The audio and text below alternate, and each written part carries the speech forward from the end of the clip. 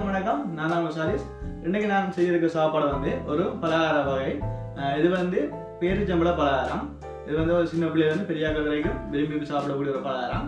அதோட இது வந்து ஒரு ஆரோக்கியமானதும் சத்தானதும். ஏன்னா நாங்கள் பேரிச்சம்பளம் ரவை பயறு கச்சான் கரியும் சொல்லி நிறைய வகையான பருப்பு தான் செய்ய போகிறோம் இந்த ஆரோக்கியமான பலகாரத்தை எப்படி செய்யணும்ன்றதை நீங்களே பாருங்க. நான் வந்து இருநூறு கிராம் பேரிச்சம்பளம் எடுத்துருக்கேன். இதை வந்து சின்ன சின்ன துண்டாக வெட்டி எடுப்போம். இது வந்து நல்ல கனைஞ்ச பெருஜம்பள பழத்தை எடுத்து நான் அந்த விதையில நீக்கி இந்த முகுலெல்லாம் நீக்கி தனியாக பெருஜம்பளத்தை மட்டும் எடுத்திருக்கேன்.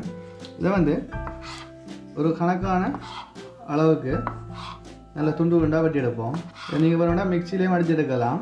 மிக்சியில் அடித்து எடுத்தால் நல்லா களியாக போயிடும். அப்போ அதால் நான் அந்த கனைஞ்ச பழம் மண்டபடியாக இதால் வெட்டியே எடுக்கிறேன். இப்படி இந்த இருநூறு கிராம் பெருஞ்சம்பளத்தையும் நாங்கள் வெட்டி எடுப்போம்.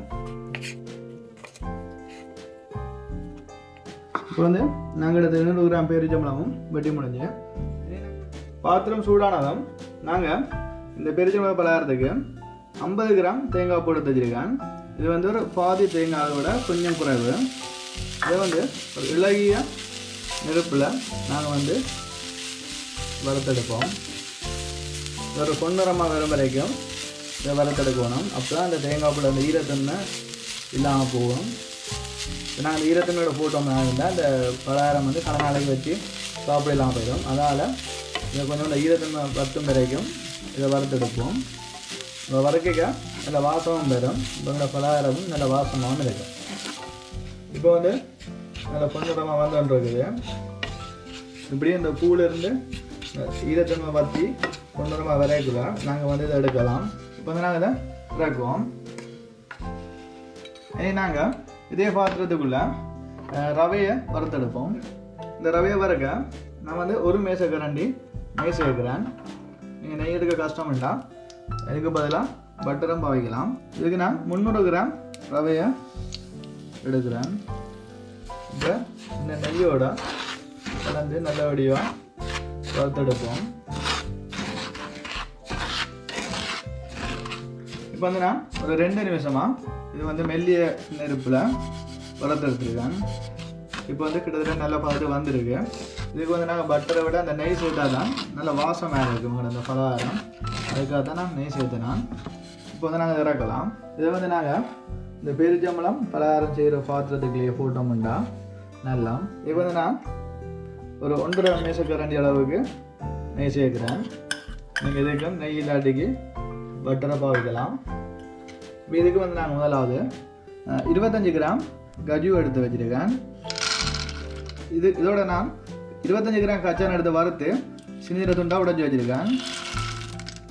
இதை வந்து நாங்கள் இப்போ இந்த நெய்யோட சேர்த்து இந்த மெல்லிய சூட்லேயே வறுத்தெடுப்போம் இதை வந்து நாங்கள் கன நேரம் வறுக்கிறத விட கன நேரம் வறுத்தோம்னா எல்லாம் முருகிடும். அப்போ அதால் ஒரு இளம் சூட்டில் கொஞ்ச நேரம் வறுத்தாலே இந்த வாசம் வந்தாலே எங்களுக்கு காணும்.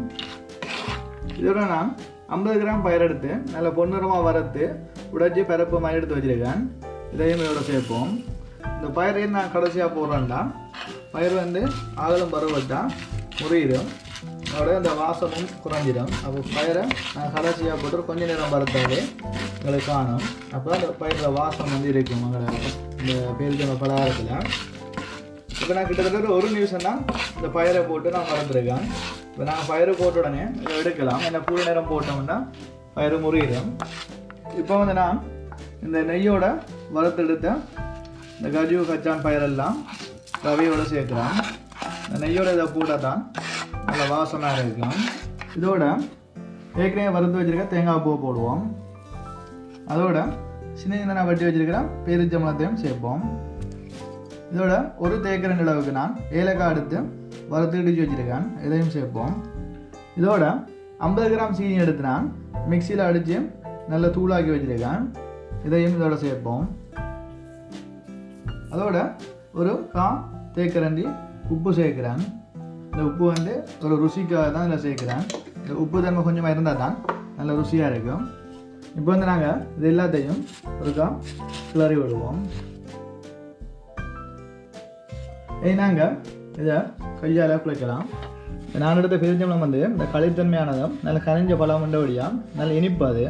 அதால் நான் வந்து ஐம்பது கிராம் சீனி சேர்த்தேனான் நீங்கள் வந்து அந்த பெருத்தவனை இனிப்பு குறைவாக இருந்தால் அந்த சீனியின் அளவை வந்து கூட்டலாம்.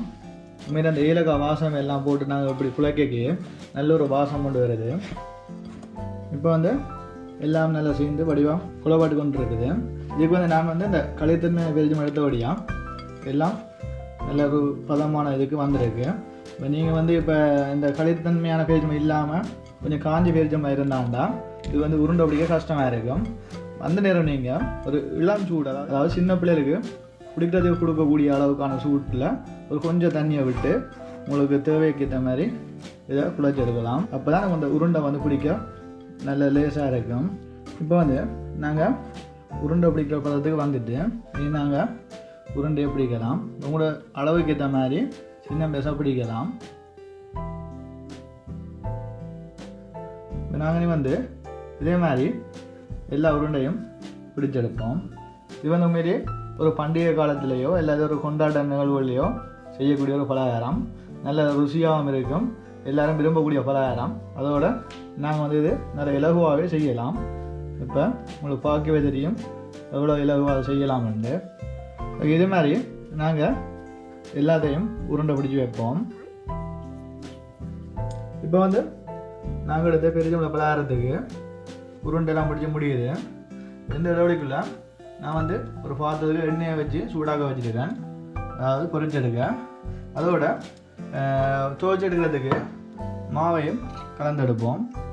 நான் வந்து மூன்று மேசக்கரண்டி எல்லா பாவனைக்கும் பாவிக்கக்கூடிய கோதுமாவும் எடுக்கிறேன். இதோட நிறத்துக்கு ஒரு அரை தேக்கரண்டி மஞ்சத்தூளும் சேர்க்குறேன். அதோட ஒரு அரை தேக்கரண்டி உப்பும் சேர்க்குறேன். உப்பு இதில் சேர்த்தா கொஞ்சம் சுவையாக இருக்கும். அதுக்காக உப்பும் சேர்க்குறேன். இதை வந்து இப்படி கையால் இருக்கா கலந்து விடுவோம். அதான் அந்த மஞ்சத்தூள் வந்து எல்லா இடமும் சேர்ந்துருக்கும். இதோட கொஞ்சம் தண்ணியை விட்டு நாங்கள் அந்த கட்டித்தன்மை இல்லாமல் குழச்சி வைப்போம். இப்போ நல்லபடியாக கட்டி இல்லாமல் இந்த மாவை இந்த பதத்துக்கு நான் காய்ச்சி எடுத்துருக்கேன். இதை நாங்கள் வந்து பிடிச்ச உருண்டை எடுத்து இதில் துவச்சி பொரிக்கலாம் இதை வந்து நான் மாவில் துவைச்ச உடனே தாச்சிட்ட போட்டு பொரிச்சு எடுப்போம். இப்போ என்ன சூடாயினதும் நாங்கள் இதை நேரடியாக போட்டு பொரிச்சு எடுக்கலாம். இப்போ வந்து நாங்கள் இதை பொரிச்சு எடுப்போம். நாங்கள் ஒன்று ரெண்டு முட்டுப்படாமல் போட்டோம்னா முட்டுப்படாமல் வரும். எண்ணெயை கொஞ்சம் சூடாக விட்டால் தான் நாங்கள் அடிக்கடி திரட்டாமல் வெளியில் திரட்டலாம் இனி நாங்கள் இந்த பொரியல் இடஒழிப்பில் அடுத்தது தயார் செஞ்சோம்னா நாங்கள் இடவிடாமல் பொரிக்கலாம் அது வந்து இப்போ நல்ல பொன்னுறவாக வந்துருக்கு இதை வந்து நாங்கள் எடுப்போம். இப்போ நாங்கள் அதே மாதிரி மற்றதையும் வச்சு எடுப்போம். இப்போ வந்து நாங்கள் எடுத்த பேரிச்சம்பள ரவைக்கான பேரிச்சம்பள பலகாரம் வந்து செஞ்சு முடியுது. இதோட நாங்கள் செஞ்ச பேரிச்சம்பள பலகாரம் தயாராகிட்டு ஓகே இப்போ வந்து நாங்கள் செஞ்ச பேரிச்சம்பள பலகாரம் வந்து எல்லாம் தயாராகிட்டு ஒன்றெடுத்து முழு பிச்சு காட்டுறேன் எப்படி இருக்குன்னு சொல்லி.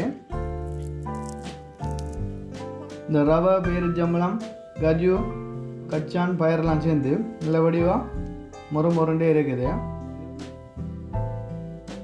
இதுபோல் நீங்களும் உங்களோட விட்ட செய்த ட்ரை பண்ணி பாருங்கள் எப்படி வேறுன்னு சொல்லி யூடியூப் கமெண்ட் பாக்ஸில் கமெண்ட் பண்ணுங்கள் இந்த வீடியோ உங்களுக்கு பிடிச்சிருந்தால் லைக் பண்ணி உங்களோட ஃப்ரெண்ட்ஸுக்கும் ஷேர் பண்ணுங்கள் மறக்காமல் சப்ஸ்கிரைப் பண்ணி பெல் பட்டனை ப்ரெஸ் பண்ணுங்கள் மீண்டும் ஒரு நல்ல ஒரு வீடியோவுடன் உங்களை சந்திப்போம்.